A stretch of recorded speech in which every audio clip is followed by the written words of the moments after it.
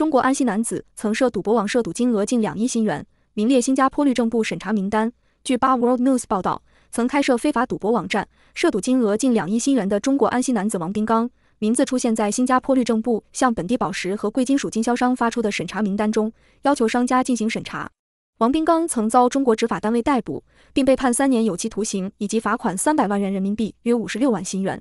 新加坡近日爆发涉及二十四亿元历来最大洗钱案后，除了十个被捕被控的涉案者外，律政部上个月底曾向本地宝石和贵金属经销商发出通告，要求他们审查旗下交易和业务关系是否涉及洗钱案的十名被告和另外二十四名同伙。十被告分别是柬埔寨籍三十三岁的陈清远、土耳其籍四十二岁的王水明。柬埔寨及四十一岁的苏宝林，瓦努阿图及三十五岁的苏建峰，塞浦路及四十岁的苏海金，柬埔寨及三十一岁的苏文强，中国籍四十三岁的林宝英，中国籍四十四岁的张瑞金，中国籍三十一岁的王宝森，以及塞浦路斯籍三十四岁的王德海。根据新加坡律政部发出的通告名单，发现除了十个落网被告外，有一个名为王丁刚的男子，与中国在二零一五年侦破的一起网络赌博案涉案主谋同名同姓。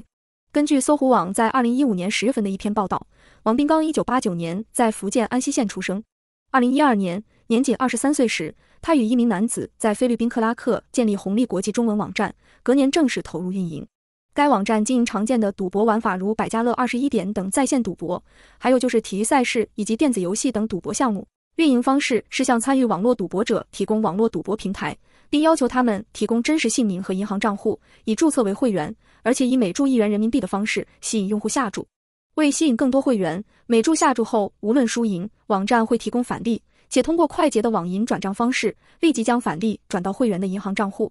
网站还从注册会员中发展代理，通过给予代理会员更优惠的返利，鼓励代理发展更多人员在该网站参与赌博。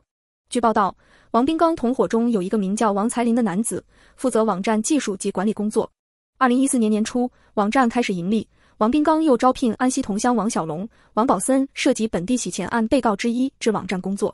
王宝森据说加入网站后，主要负责网站的财务工作。他和王才林一样，每月领取一万元人民币（约一千八百新元）的底薪。如果网站有盈利，还可获得奖金分红。其中，王才林因对网站贡献大，其盈利提成由百分之五上升到百分之八。很快，王才林就利用妹妹名义买入豪华宝马轿车，也利用他的名字在银行存入大笔存款。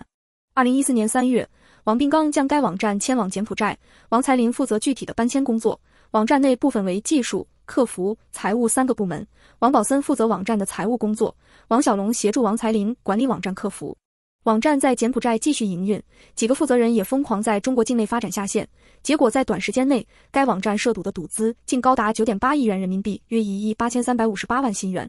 到了二零一四年底，王宝森已晋升为全面管理网站，而王小龙则协助他管理。报道没有提及王斌刚如何落网，不过与本案相关的落网人员都在二零一五年被安徽省马鞍山市雨山区法院判判处有期徒刑和罚款。有期徒刑介于是十个月到三年不等，罚款金额则介于五万元人民币（九千三百五十三新元）到三百万元人民币（约五十六万新元）不等。其中，王斌刚被判有期徒刑三年，并处罚金人民币三百万元（约五十六万新元）。王宝森在这起案件中虽然被调查，也说明另案处理，但没有相关的判决资料。王斌刚的刑期在二零一八年结束，相信他之后曾辗转来到新加坡落脚，也曾在新加坡消费，名字才会被列入律政部的通告名单中。洗钱案刚爆发时，警方曾发表文告表示，除了被捕的十个被告外，另外有十二人正在协助警方调查，还有八人正被警方通缉，但警方并未透露这些人的身份和姓名。今天的视频就到这里，感谢大家的收看。如果您喜欢我们的节目，请关注新加坡之音。